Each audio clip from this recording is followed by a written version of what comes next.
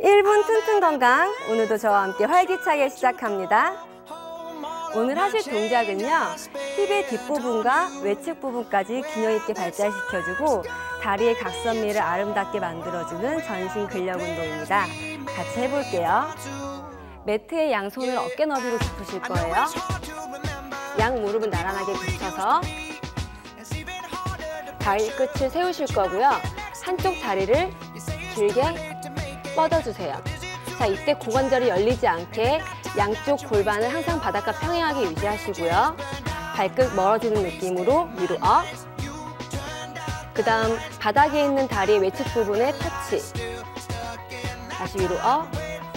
제자리 내, 내려놓으실 거예요. 반복.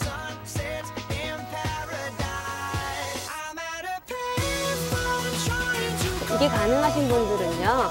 무릎을 바닥에서 살짝만 뗀 상태 유지하고 운동을 한번 해보실게요.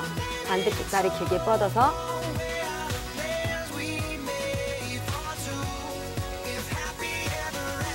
세 번 반복.